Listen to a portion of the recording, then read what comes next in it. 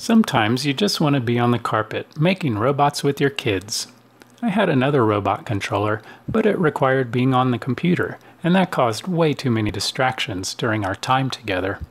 I wanted a robot controller that didn't need software to be loaded, or a certain version of the operating system to work, or special drivers that were hard to track down. I just wanted it to work, instantly, right out of the box, anytime I picked it up. Also, not every kid can afford a $300 controller set. So, I developed Poly Wants a Cracker. It lets you move three motors using its built-in touch-sensitive keyboard. All movements are automatically recorded, and you can save those movements into one of three save slots. Those programs will be there for you the next time you turn it on. It has two sonar sensors to detect objects.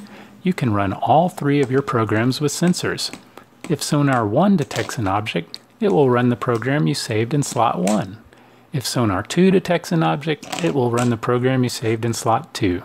And if no objects are detected, it will run the program you saved in slot 3.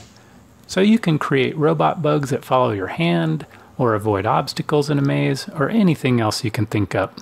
You can have fun controlling robotic cranes, arms, drawing machines, and then add sonars to respond with automated actions. It will run on four AA batteries or a 6 volt DC adapter. Kickstarter will help with the economies of scale for parts and manufacturing to bring this project to kids everywhere.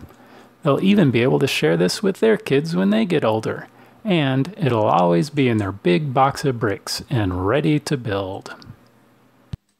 Create your own fruit controller by attaching wires to the built-in buttons. Apples, bananas, and oranges not included. You don't need to use fruit, but it's always fun.